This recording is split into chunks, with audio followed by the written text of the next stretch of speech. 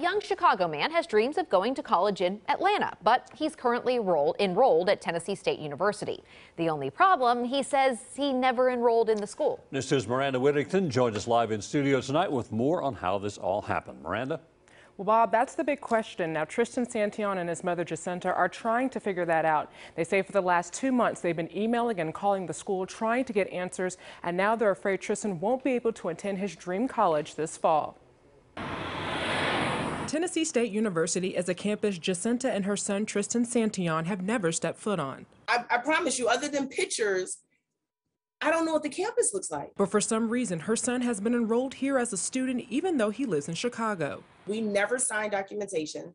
We never went to Tennessee State. He's never been to an orientation. He doesn't have an advisor. Jacinta and her son both graduated last spring, with Jacinta obtaining her second degree and Tristan obtaining his high school diploma and associate's degree in IT.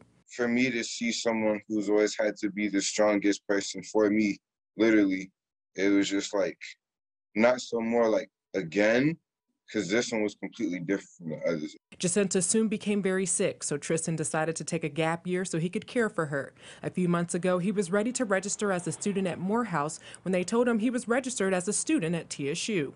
In my head, I guess the first question I had was, you guys need all this information prior to a student attending your school, yet somehow, some way, you just managed to put a random face to a name. Tristan and his mother say they've been calling and emailing TSU for the last two months, but nothing has been fixed. Inside, I'm just boiling because I feel like this can be something that can be easily resolved.